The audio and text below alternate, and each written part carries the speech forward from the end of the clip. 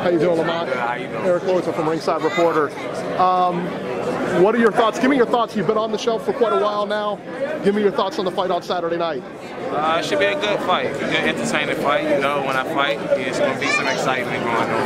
Um, I'm expecting a you know, big victory and, and move on to, to, to, the next one. Why the long layoff? Uh, just business of boxing, you know, negotiating. Uh, fights not that you wait for and you negotiate with don't actually plan out. Someone fight decides to fight someone else, and it kind of happened to me maybe three or four times within last year. So it was just you know unfortunate, but at the same time I stayed focused and I stayed you know in the gym. So just glad that we got an opportunity now. Saturday night will be a great.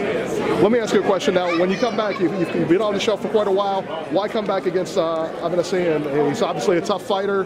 This is no tune-up for you. This is a this is a big fight. Right, this big is a good fight, man. Uh, it's pretty much where I left off. You know, my last fight was you know a big fight. The fight before that was a big fight. The fight before that, so you know, I, I didn't want to take any back steps. Uh, like I said, I've been in the gym, so I don't look at it as just sitting on the show. I was in you know in the gym working out. Sure.